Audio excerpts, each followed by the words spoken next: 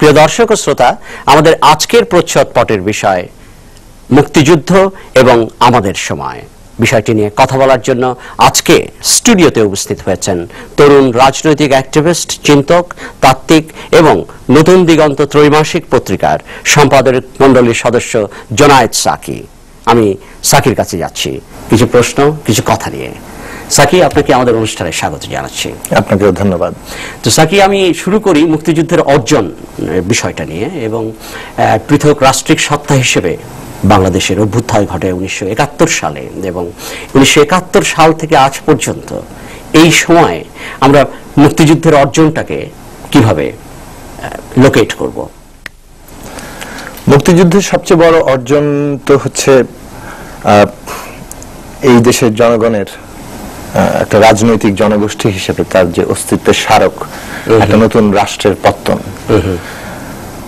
এই রাষ্ট্রের পত্তনের মধ্য দিয়ে আমাদের ইতিহাসের যাত্রা শুরু এবং আজকে ৩৫ বছর অতিক্রান্ত হয়েছে এবং এই সময়ে এসে আমরা যখন মুক্তিযুদ্ধ নিয়ে আলোচনা করি একই সাথে আসলে আমরা আমাদের দেশ নিয়ে আলোচনা করি। অবশ্যই।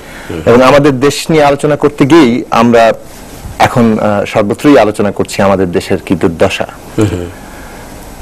সাইক্লোন আক্রান্ত হয়েছে আমরা খুব সম্প্রতি। মানুষের হাহাকার চলছে।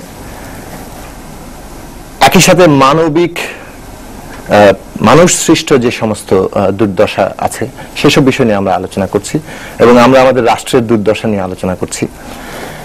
এই রকম একটা দুর্দশার পরিস্থিতিতে আমরা যখন মুক্তিযুদ্ধকে কথা বলি। আহ, কথা বলি কিংবা তাকে স্মরণ করি কিংবা আমাদের নিজেদের জীবনে তাকে প্রাসঙ্গিক করে তুলতে চাই তখন আমাদের অর্জনটাকে কিন্তু আবার একটু খতিয়ে দেখতে হয় অবশ্যই।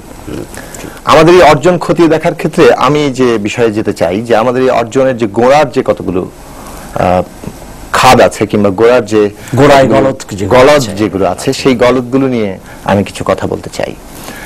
আমরা একটা রাজনৈতিক জনগোষ্ঠী হিসেবে আমাদের অস্তিত্বের ঘোষণা দিয়েছি। একটা যুদ্ধের মধ্য দিয়ে একটা রাষ্ট্রের পত্তন করা। এটা একটা বিরাট ঘটনা। কিন্তু এই রাষ্ট্র যে একটা যুদ্ধের মধ্য দিয়ে সশস্ত্র উত্থান ঘটলো একটা জনগোষ্ঠীর। এই জনগোষ্ঠী কিন্তু রাষ্ট্রপত্তনের ক্ষেত্রে গিয়ে নিজের এই উত্থানটাকে পুরোপুরি ধারণ করতে পারল না। আমি যদি বলি যে রাষ্ট্রপত্তনের প্রথম যে কাজ, একটা সংবিধান প্রণয়ন করা। সেই সংবিধান যেভাবে তৈরি করা হয়েছিল। হ্যাঁ, তৈরি করা হয়েছিল। এবং সেই রক্তক্ষয়ী সংগ্রামের ভেতর দিয়ে অর্জিত সেই সংবিধান এটাও বলে। হ্যাঁ। আসলে কি তাই? মানে না কিন্তু যেভাবে যে প্রক্রিয়ায় সংবিধান প্রণীত হলো এখানে সেখানে আমরা জনগণের অংশগ্রহণ কিন্তু দেখলাম না।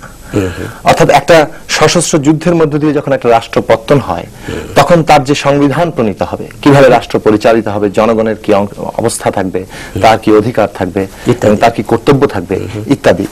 এই বিষয়ে জনগণের অংশগ্রহণ তো খুবই জরুরি। এবং এটা ইতিহাসে সব দেশের অন্যান্য দেশের ইতিহাসে আছে যে এই যে সংবিধান প্রণীত হচ্ছে বিশেষভাবে এইরকম একটা রাজনৈতিক ঘটনার মধ্য দিয়ে যদি এটা প্রণীত হয় তাহলে এটা একটা সংবিধান সভার মধ্য দিয়ে যেতে হয়।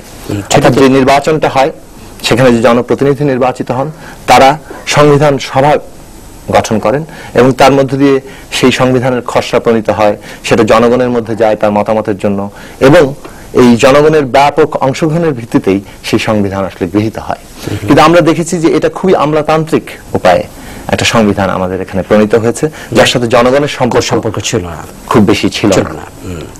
সেই দিক থেকে আমরা মনে করি এটা গোড়ায় একটা বড় গলত এবং তারপর দেখেন একটার পর একটা যে আমাদের যে রাষ্ট্রের যে বড় বড় প্রতিষ্ঠানগুলো এই যে বিচার বিভাগ প্রতিষ্ঠিত হলো আমলাতন্ত্র প্রতিষ্ঠিত হলো। এইগুলো আমরা যেভাবে প্রতিষ্ঠিত হলো অর্থাৎ যুদ্ধের মধ্য দিয়ে জনগোষ্ঠী এই জিনিস এই প্রতিষ্ঠানগুলো যখন গড়ে তোলে সেটা একেবারে নতুন আদলের জিনিস হয়। কিন্তু আমরা দেখলাম দেখলাম যে ওই প্রতিষ্ঠানগুলি পুনর্বহাল হলো। অর্থাৎ যে জনগোষ্ঠী যুদ্ধ করে তার নিজের ক্ষমতা প্রতিষ্ঠা করল তারা কিন্তু আসলে প্রতিষ্ঠানের ক্ষমতায় গিয়ে দেখি তারা নাই। আচ্ছা। তারপরে এটা কি যেমন ধরেন- বলবেন গোড়ার গলদ। গোড়ার গল আরও গোড়ার গলত আছে। যেমন ধরেন যুদ্ধাপরাধী নিয়ে এখন অনেক কথা আবার উঠছে।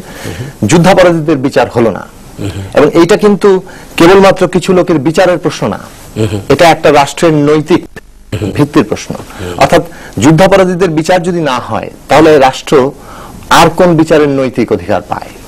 অর্থাৎ তার গোড়ার যে তার পত্তনের প্রশ্ন সেই পত্তনের বৈধতা কিংবা পত্তনের যে ন্যায্যতা সেটাই প্রশ্নবিদ্ধ হয় বলে আমার কাছে মনে হয়।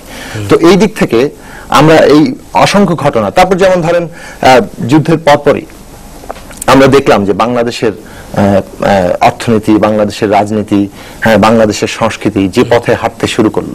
আমরা দেখলাম অল্প সময়ের মধ্যেই বাংলাদেশ বিশ্ব ব্যাংক আইএমএফ ইত্যাদি আন্তর্জাতিক প্রতিষ্ঠান যারা মূলত আন্তর্জাতিক যে পুঁজি যাকে আমরা সাম্রাজ্যবাদী পুঁজি বলি। বলি এই পুঁজির যে সারা দুনিয়াময় কর্তৃত্ব তারই দেখভাল করে। এবং এখানে বোধহয় বলে রাখা দরকার যে এই যে সাম্রাজ্যবাদ পুঁজির কথা আপনি বললেন মার্কিন সাম্রাজ্যবাদের একটা ভূমিকা আছে। মার্কিন সাম্রাজ্যবাদ কিন্তু বাংলাদেশ যে হোক এটা কিন্তু চায়নি। হ্যাঁ মার্কিন সাম্রাজ্যবাদ তো এই সাম্রাজ্যবাদী বিশ্বের কেন্দ্র।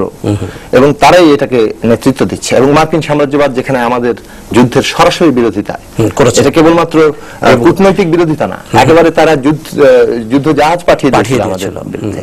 সেই সাম্রাজ্যবাদী বিশ্বের কর্তৃত্বের মধ্যে আমরা ঢুকে পড়ছি। বিশ্ব ব্যাংকের কর্তৃত্বের মধ্যে ভিতরে ঢুকে ঢুকে পড়ছি। পড়ছি। এবং আজকে ওই যে রাষ্ট্রের পত্তনের গোড়াতে যে গলত অর্থাৎ আমরা যে ঔপনিবেশিক ভিত্তিকে আমরা যে উৎখাত করতে পারলাম। না ওইটা কি যে আমরা পুনর্বহাল তার জের। কিন্তু। আজকের সময় পর্যন্ত আসছে। এবং আজকের দিনে যদি আমাদের কোনো দাসত্ব থেকে থাকে আমরা যদি আমাদের সার্বভৌমত্ব আমাদের লঙ্ঘিত হয়ে থাকে কিংবা আমরা যদি তার হুমকির মুখে থাকি তাহলে এটা কিন্তু তারই জের এবং তারই আরও অনেক বিকশিত আরও অনেক ঘনীভূত রূপ। এবং আজকে আমরা মনে করি আমি মনে করি যে আমরা সেই সংকটের মুখোমুখি।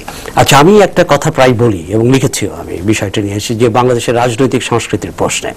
সেটি হচ্ছে যে উনিশশো একাত্তরের পর থেকে আজ পর্যন্ত গত ছত্রিশ বছরে যে রাজনৈতিক সংস্কৃতিটা গড়ে উঠেছে সেখানে আমরা আপনার সঙ্গে আমি একমত যে আমলাতান্ত্রিকীকরণ দেখেছি এবং সেটা রাজনীতির আমলাতান্ত্রিকীকরণ এবং আমলাতন্ত্রের রাজনীতিকীকরণ, রাজনীতির আপনার বাণিজ্যিকীকরণ এবং বাণিজ্যের রাজনীতিকীকরণ কিংবা ধরুন রাজনীতির সামরিকীকরণ এবং সামরিক বাহিনীরও কিছু রাজনীতিকরণ এগুলো কিন্তু আমরা লক্ষ্য করছি এবং ধর্মেরও ব্যবহার রাজনীতিতে লক্ষ্য করছি।